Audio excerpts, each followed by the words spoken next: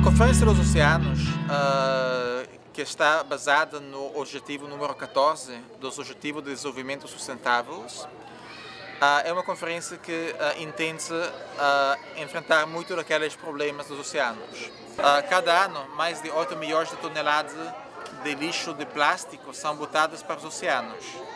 Isso causa 8 bilhões, 8 bilhões de dólares de dano cada ano. Falamos, obviamente, de um custo, de um custo de 8 bilhões de dólares, mas antes desse custo estão vidas humanas.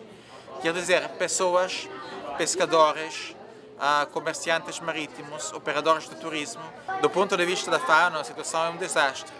Cada ano, mais de um milhão de pássaros uh, morre uh, por causa da contaminação dos oceanos.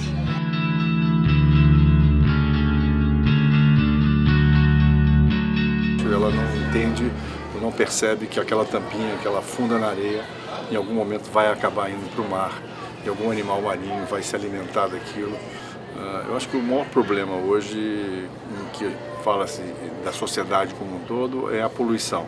É o descarte incorreto de resíduos, microlixo, eh, saco plástico, tampa de garrafa plástica, cotonete, fio dental, uma série de itens eh, que a gente usa no dia a dia e que são descartados incorretamente, não só nos rios, como nas praias. Preservar, temos que ter cuidado mesmo, apesar do povo, a população não ter o cuidado que precisa, né?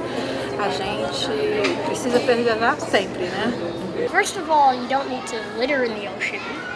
Since sometimes in ancient days we didn't preserve the ocean, so that's why we don't have really big Bahamas, we have small ones importante essa parte da educação ambiental para tentar reduzir essa lacuna que normalmente existe entre as pessoas e o ambiente marinho.